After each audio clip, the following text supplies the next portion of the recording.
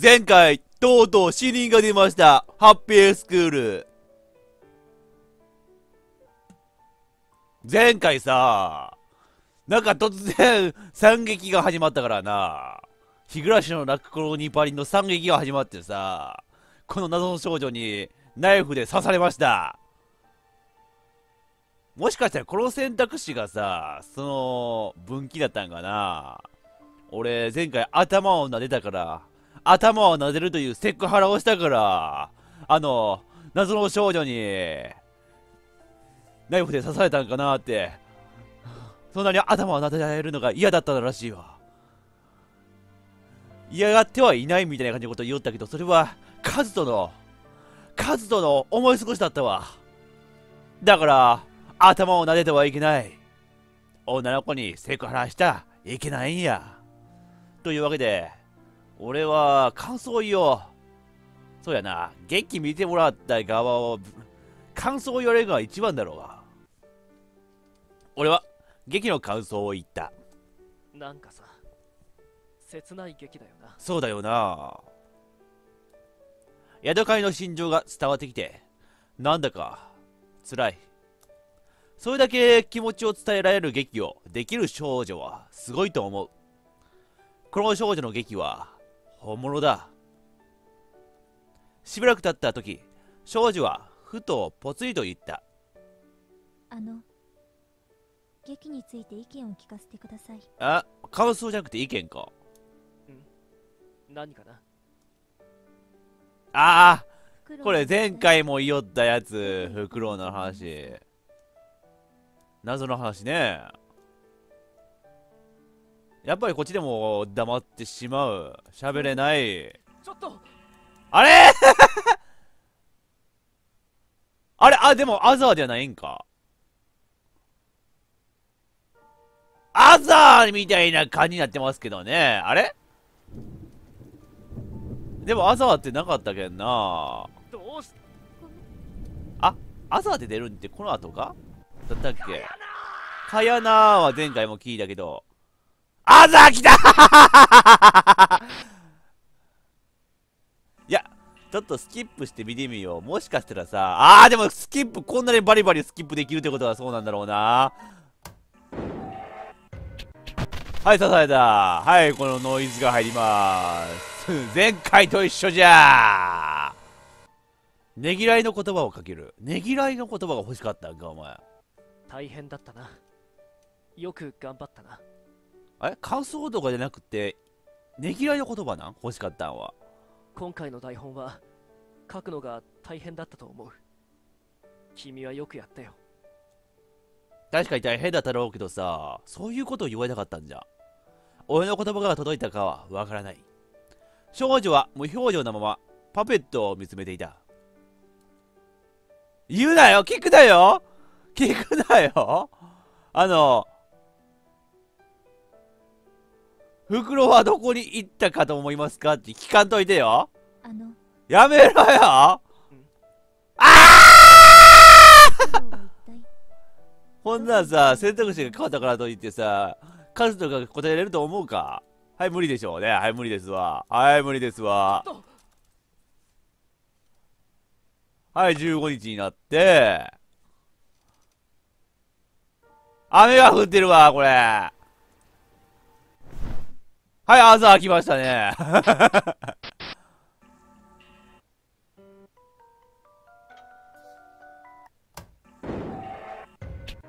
はい、支えた。全く一緒やねえか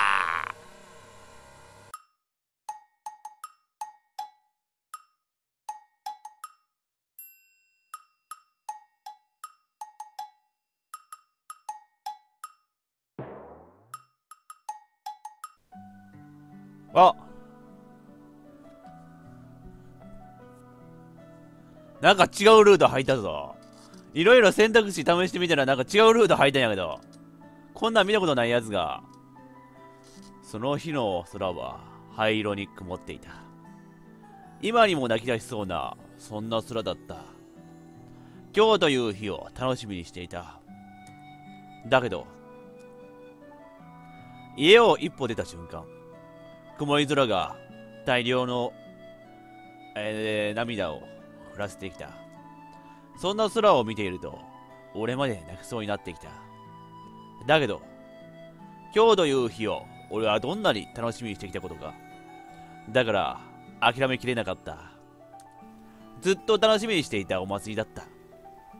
大雨にもかかわらず、諦めきれずに、俺は隣の地区の神社へと走っていった。古めかしい鳥居をくぐった俺が見たものは、片付けられていく、えー、っと、屋台と、片付け終わり、足早に去っていく店主たち。その光景を目の当たりにして、初めて俺は夏祭りが始まらずに終わったことを実感した。事実が脳裏に染み渡ってからも、俺は雨の中、ただ呆然と立ち尽くしていた。神社本堂の緑、えっと、縁の下に膝を抱えて座っている少女を見つけるまでは、膝に座って話す前に、すでに分かっていた。彼女が俺と同じ理由でここにいるであろうことを。きっと鏡を見たら、きっと俺はその少女と同じ目をしているに違いないと思ったのだ。なんだ？このタイミングで少女が出てくるってことはまさかなあの少女がこの少女だったりするんかな残念だったねあなたも？うん。主語も何もあったものではない会話を言葉を交わした。だけどそれだけで十分するほどに十分すぎるほどに話が通じた。それは俺たちの気持ちが見事なまでに終わりだったから。大きなお祭りだって聞いたから楽しみにしてたんだけどな。あああの前回のバッドエンドと同じような雨が降ってるけどね。ええ毎度とっても大きいお祭りなのよ。おみこしがとにかくすごいの。でもこの声なんか委員長やな。いいな。見たかったな。だいたいいつもの七つ少女みたいなさあんな感じのあんな感じのちょっとお楽しめな喋り方じゃないよこのな辺りの住民は毎年おみこしをあなたこの辺で見かけない顔だけど。俺の家は隣町なんだここのお祭りがすごいって話したから見に来たんだ。隣町？ここまで一人で来たの？うん。大変ね。君は？私はここから比較的近所だからね。あまり大変じゃないの。あれ？委員長とのファーストコンタクトこんなところでしたよみたいな話なんかな俺どどうしたの？私の方をじっと見て。あ多分大きく膨らんだおっぱいを見てるんだと思います。うん20点あれ？これちょっと委員長の口癖でないか。え？赤点だよ赤点。こんな雨の日に傘もささずに来てびしょ濡れじゃないか。風邪をひいちゃうだろあれ？これ委員長ルート入った？なんか選択肢いろいろ選び直してさ、ちょっと最初からやってみたいんやけどさ、もしかして委員長ルートのフラグ立てたんかな俺？傘さしてないのはあなたもじゃないの？かもしれんな。そんな感じだったんかもしれんな。俺は男だからいいんだよ。男はこんなことじゃ風邪ひかないの。ふーん。まあなんだよ。時にあなたお家の人にちゃんと出かけるって言って出てきた？うん。1点言ってないんだよな。お前は20点どころか、マイナス点だよ。だったら赤点ね。出かけるときはちゃんと出かける場所と帰ってくる時間をお家の人に言わないとダメじゃない？そうだぞ、カズと。その様子だと君も家の人に断ってきてないだろ私は女の子だからいいの。女の子にはお出かけ先を知られたくない時もあるのよ。わあ、それ卑怯じゃん。へえ。そんなら初めて聞いたわ、俺。でも残念だったわねお祭り。うん。次こそはお祭りできるといいな。ええ。それから、俺たちは、雨が止むまで、ずっと雨宿り雨宿りしていた。今日の夢はいつもと違っていた。詳しいことはほとんど覚えてないけれど。だけど、なぜだか、とても懐かしい気がした。というわけで、カメラだなんか突然ねいろいろ選択肢選び直しとったらこういう感じで違うってなんか話が出てきたんですよね。なんだこれ。セーブしとこう。重要そうだからセーブしとこ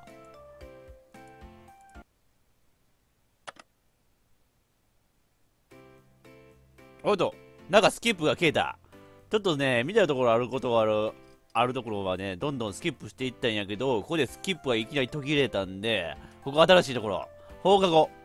帰宅しようとした時不意に声をかけられた。わあ委員長だ。絶対このタイミングでさ見たことないところあるってことは委員長ルート入ってしまったんやな。委員長。振り返るがそこにはいない。ん上上だってば。校舎の方を見上げると窓から委員長が顔を出していた。委員長？何か用かい？あのね高崎くんプリント忘れてるわよ。プリント？ええこれ明日からの予定表よ。なくて平気なの？ま、マジか？ちょっとそれはまずいな。ああなんかこういう選択肢も出てくるんじゃ。えー、まあなんか新しいルートでささらにこういう選択肢まで。投げてくれ。戻って取るのは面倒だ。悪いけど委員長そのプリントそこから投げて落としてよこしてくれ。投げて？いいの？ああ頼む。どうなっても知らないわよ。はい。委員長はプリントをそのまま窓からこっちへ落とす。プリントはまっすぐに俺のところまで落ちてくると思ったのだが。空気抵抗で大幅に軌道がずれる。あれ？おかしいなコナン出てきた。名探偵コナン出てきたよ。俺はプリントを追っていく。おい待ってて。待てよ。待てよ。今度は木村拓哉出てきたプリントは俺から逃げるように落ちていく。畜生これどうだ？俺は走っていってプリントに飛びついた。よしキャッチしたぞ。とあれ？あれ？正直な話今目の前で火花が散った。そうか。俺ははるかと正面衝突したのか。いって。あれ？あらあらまた朝来ちゃったよ。扉の開く音。そして間もなく聞こえる。はるかの声。もうやっぱり寝てるよ。おーい。起きない。あれ？ねえこれは見たことあるやつ？ねえねえカズ。見たことあるやつじゃー！うん、やっぱりね、あの、そのね、プリント、大事なものをね、あのー、こんな乱雑に落とすわけにはいかないですよね。まあ、問いに戻るんでね、待っといてくださいね。今からそっちに取りに戻るから待っててくれ。いい。え？高崎くんが待ってて。委員長？あれ？なんか、委員長、俺になんか気があるん？委員長は窓から引っ込む。待っとったら、あ、来てくれた。あ気づくと後ろに委員長がいた。何？わざわざ持ってきてくれたのかありがとな別に私もこれから帰るからそのついでよじゃあねなんかちょっと、ええ脈ありだ。なんか脈あるんちゃうかなって、わざわざちょっと近くまで来たいという委員長のね、活動に対しての好意を見えるね。委員長はそう言うと、もう出て行った。それにしても、委員長ってクールだよなそのうち出れるよ。おっと、朝は出んかった。よかった。これはスキップできるやつじゃないなスキップできるやつじゃない。おっと、選択肢がな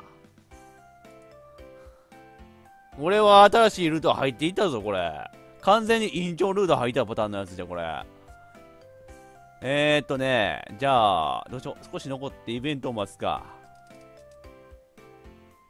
残るにしても、特に何もすることがないので、校内をあてもなくブラブラする。すると、体育館の方に人が結構残っていることに気づく。ちょっと行ってみるか。なんだ？そこでは複数の生徒が忙しそうに何かの準備をしていた。何か行事があった気がするな。なんだっけ？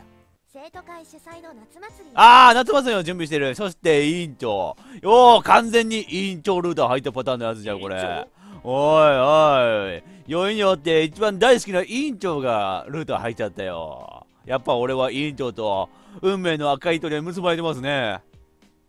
振り向くとそこには委員長がいた。私実行委員長なのよ。夏祭りのね。おーお疲れですね。学級委員長だけでなく夏祭り実況実行委員長までやってるとは。そういえば図書委員長でもあったよな。委員長3つも掛け持ちしとんか。すげえな委員長。肩揉んであげようか。委員長よ。君は一体いくつの委員長を兼任してるんだ？俺は委員長の後についてついて体育館の中へと入る。すると中では実行委員らしき生徒たちが忙しく動き回っていた。ステージにライトを追加しているようだ。舞台野祭にはここでイベントやるのよ。その準備ね。なんだかんだで一番盛り上がるのはここだからな。うん。そうね。だからここは気合い入れて準備しないとね。そう言って委員長は危機としてみんなに指示を出している。委員長さすがは委員長。こういう役はうってつけなのかもしれないな。なあ委員長。何かしら？楽しそうだな。ええだって夏祭りだものおおいい笑顔。数多くある学校行事の一つだろそんな特別なもんじゃないと思うけどな。いいえそんなことはないわ。だって今年の夏祭りはこれ一あれ？きりなのよ。これなんか過去のさ夏祭り雨で中止になったみたいな話となんかつながってくるところあるな。そんなことを言う委員長。あれ？委員長ってそんなに祭り好きだったっけ？別にそういうわけじゃないけどどちらかというと普通のお祭りは苦手ね。だったらどうして？えっとあ！そのね夏祭りフラグが出てきた。特別なのよ。フラグが立ったしたんやな。フラグが立ったって。わあ、絶対なんかさ、あの日、男の子と一緒になって楽しかったみたいな、そんな感じのフラグが出てきたぞ、お前。フラグの立て方ってこんな感じだったんだな。委員長にしては珍しく、歯切れの悪い答えが返ってきた。特別その意味を問おうと思ったとき、委員長は現場監督をしに戻って行ってしまった。うーちょっと気になったが仕方がない。これ以上いたら作業の邪魔になるし、帰るか。おお委員長ルートちゃんと入ってますね、これ。これもか。これももしかして委員長ルートか。委員長ルートじゃ。もう完全に委員長ルートの方に入っとんじゃん、これ。と思ったら、黒凪を見ていないことに気づく。そういえば最近黒凪見かけないなどうしたんだえ、まさかまさかあの惨劇のエンディングの時みたいにさ、何か、連絡もなしにさ、なんか長いこと欠席するみたいな話じゃない？高崎くんも知らないの？あ綾瀬先生も連絡つかなくて困ってほんまに連絡つかない状態になってる。あいつのことだから山にこもって修行したりとか言い出してたんだろうな、多分な。消息不明なのか確かに黒黒凪はいい加減なところはある。だけど、こんなことは初めてだ。何でもなければいいんだが、雲一つない真っ青に晴れ渡った空なのに、セミの鳴き声にも一抹の不安を感じてしまう夏の朝だった。さて、放課後だ。少し学校に残るか。学校残ったら委員長に会えるフラグ、体育館。おーっと、完全に委員長に会いに行っとるさ、お前。なんだか夏祭り準備の進度が気になった？違う。委員長と会いたくなったのだろう。俺にはわかるぞ。体育館では委員長が今日も準備を頑張っていた。いや今日も頑張ってそうだ。俺はカズとは思っていることはわかるぞ。委員長の顔、顔を見に来たんだ。委員長のこの顔と、それとついでにおっぱいを見に来たんだ。ねそろそろ追い込みかけないといけない時期だしねこの胸の膨らみを見に来たと言っても過言ではないからな。そっか夏祭りまで1週間切ってるんだな体育館内を見渡すとみんな前にを回して忙しそうに動き回っている別に手伝いに来ているわけでもないし今の俺って完璧に邪魔者だよな。帰ろ。俺は、袖を返すとかな？体育館の出口をくぐる。だー なんかすごい真面目そうなやつが出てきたぞ。そのメガネは真面目しかかけてはいけないっていう、そういう暗黙の了解があるかっていうようなメガネかけてるぞ。その時、入れ替わりに入ってきた男子生徒にぶつかってしまう。ああごめん前くらいしっかり見てくださいよまったくちょっと嫌な感じのポジションのキャラクター出てきたぞ、これ。服の埃を払うような仕草をして、ブツブツ言いながら男子生徒は体育館へと入っていった。今の生徒、どこかで見たことがあるような、あるの？そうだ、隣のクラスの学級委員長だっけ？確か名前は、岸田君今日もまた遅刻なの？そうだ、岸田だ。下の名前は知らないが、遅れたと言っても30分程度でしょう。それとも遅れる時には実行委員長の許可でも必要なんですか？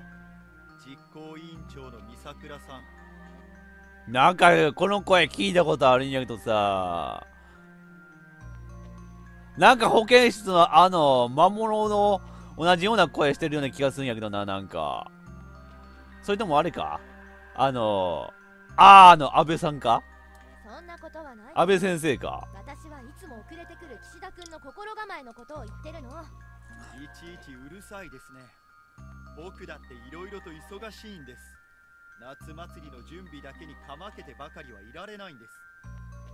遅れたとはいえしっかり参加していることを評価してくれても良さそうですけどね。嫌なキャラやな。岸田は体育館の中を見渡しながら言う。改めて見るとここも同じか前日より参加者は減っているように見える。分かったわ。こんなこと言い合ってても無駄だわ。早く準備を再開しましょう。委員長のその一言でおのおの夏祭りの準備作業を再開する俺は近くにいる生徒に聞いてみる。あのさ岸田も実行委員なのか？うん副委員長なんだ。あれ？本当は委員長になりたかったらしいんだけどね。お前なんかさ岸田と同じような声してないか？男子生徒岸田と同じような声してないか？お前なんか。知らんけどさ。声優つかみますってんななんか。俺。そうか。さては夏祭り実行委員って楽しそうとばかり思っていたが思ったよりいろいろ合いそうだな。一枚岩ではない感じなんだよな。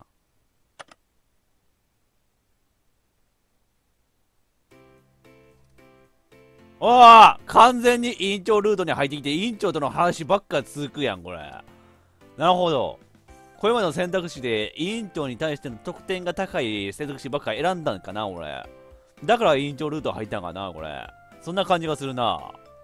今日も俺は体育館へと足を向けていた。委員長今日も頑張ってるかな。そうそうステージの方の照明は全部セットできた頃かもしれないそんなことを考えつつ体育館の扉をくぐった時中の様子がいつもと違っていることに気づいた。作業が止まっている。おそして実行委員たちの視線の先には対峙する2人の姿が。委員長と副委員長の岸田だ。2人はしばらく黙ったまま人目を見を交わしていたがやがて委員長が口を開いた。岸田君それどういう意味？なんか言い合いしてるな。そんなこともわからないんですか。でしたらわかりやすく言ってあげましょうもう僕はあなたとは一緒にやっていけませんってことです。おおなんか仲高いしてる。なんですって？本当に気づいてないのだとしたら実におめでたい人だ。何も僕だけに限ったことじゃない。周りを見てみなさい。今日来てない実行委員もみんな身勝手なあなたのやり方に嫌気がさしてんですよ。なんだ？体育館内を見渡してみると確かに参加している生徒の数は昨日に比べて明らかに減っている。おっとなんか委員長がさ委員長の情熱がみんなに伝わってないというかついていけないっていう感じがするな。あなたは我を通しすぎるんです。何が何でも自分の思った通りにことが運ばないと気が済まない。他に細かいことを言う人がいないから仕方ないじゃないの。私が言わないと夏祭りが予定通りにできないでしょ。でもその夏祭りはあなた一人の夏祭りでしょ決してみんなの望んでいる夏祭りではありません。黙ったまま岸田の方を見据える委員長。表情を押し殺ったような顔が少し怖い。ここまで言えば周囲が見えていないあなたでも分かったことでしょう。僕はあなたのわがままに付き合うほど水教ではないのでここで降りさせてもらうんですよ。そうねよくわかったわ。委員長。ここで俺は委員長の誤調が今までに聞いたこともないくらいに怖いものに変わってくることに気づいた。そしてこの後委員長の口から出たものも普段からはとても考えられない言葉だった。だったらやる気がないのだったらさっさと出て行ってちょうだい。うわ言うね。え委員長の意外な言葉に岸田もあっけに取られて返す言葉が出ないようだった。それは他のい実行委員も同じでもちろん俺も例外ではなかった。てっきり注意してでも続けさせると思っていたのだが。この際だから言わせてもらうわ。前々から思っていたんだけどあなたたち。委員長は視線を体育館のステージの方。つまりは作業中であった実行委員長委員たちに移す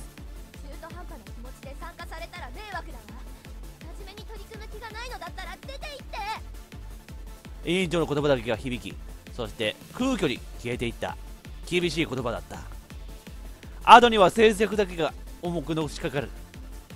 この場の誰もが言葉を口にできなかったし委員長に向ける言葉さえ思いつくことができないだろう。その静寂を破ることができる者がいるとすればそれはえ、岸田だった。ようやく Y に帰ったようで委員長に向けて吐き捨てるような視線を向ける。そうですか。だったらせいぜい勝手にするといいです。こんな茶番には付き合いきれません。望み通り出ていきましょう。岸田は取り巻きの生徒数人と共に体育館を出ていく。そしてその後ステージの方にいた実行委員も居心地が悪そうに委員長の脇をすり抜けて出口へと向かう。皆一刻も早くこの重苦しい空間から逃げ出したかったのだろう。一人また一人と実行委員たちが体育館を去っていく。俺は何もできずにただその場に立ち尽くしていた。そして誰もいなくなった。ホラー映画の文章みたいな感じになってる。残ったのは俺とただ一人ステージの方を見据えたままの委員長。かける言葉も見つからない。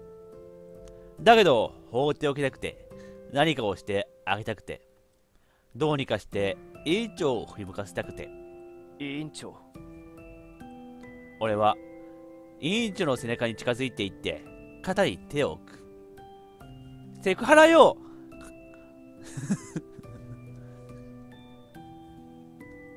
だけど委員長は俺の手を振り払う。はいセクハラって言われたはいセクハラですねこれは。それはセクハラですよ。委員長の肩に手を置いていいのは切な形式だけですよ。委員長？度重なる俺の言葉に委員長はやっとこちらに振り向く。だが高崎くんあなたもよ。え？作業の邪魔よ。部外者は出て行って委員長の口から発せられたのは明確な休日の言葉。そして委員長は俺を一別すると背を向けて再び振り向くことはなかった。あごめん。俺はそう言い残して体育館を出ていくことしかできなかった。あ委員長が孤立してしまったわからしい BGM のまま次のよ次にな次の日になってしまった。授業が終わった。さてどうしよう。あーなるほどね。そういう感じのね帰ろうで委員長委員長の元から離れるパターンもあるんやな。あーでもなんかさ様子が気になるの方を選ぶんが正解なの分かっておきながらさ、帰ろうの選択肢見てみたいんよな、俺としては。とりあえずね、帰ろう。委員長のことは気にかかったが、今は何を言っても無駄だろう。どうなるのかね。アザーになった。今日はみんなに残念なお知らせがあるうわなんか、あっさっしな感じの展開になってますけど。その日のホームルームは、先生のそんな一言から始まった。生徒会で予定されていた夏祭りだがこの前に嵐の日があっただろおうそそんな日にがあったん。機材が軒並みぶっ壊れてなできなくなったあー、やっぱりできなくなったんは予想通りやったけど、嵐があったけんか。あ、嵐があったけんど、人手がもう委員長だけだったけん、もう、立て直すことができんかったみたいな、こういう展開か。えーっと、生徒のたちの間で残念そうな声が上がる。できないものは仕方がないということで中止になった静かに会うんじゃない俺だって楽しみだったんだ間もなく授業が始まるんでおとなしくしておくようにうん、そうか。中止なのか。なるほど。あれなんだろうな。ちゃんと選択肢でさ、委員長のことを気にかけるルートに入っとったら、この嵐が起きとったとしても、みんなでどうにか立ち直って、開催できるみたいなルートになっとったんか。なるほどね。放課後、俺はなんとなく体育館へと向かっていた。少し気になったからだ。誰もいない体育館。そこに彼女はいた。委員長一人でもいた。委員長はステージの方を見据えたまま何も言わない。無理もないか。やっぱりそっとしてあげた方がいいか。俺はそのまま立ち去ろうとした。その時、委員長がぽつりと、すぐに消えてしまうような声で言ったように聞こえた。次のお祭りはいつなのかしらね？と。俺は委員長の言葉に答えることができなかった。ああこういうパターンもあるんやな。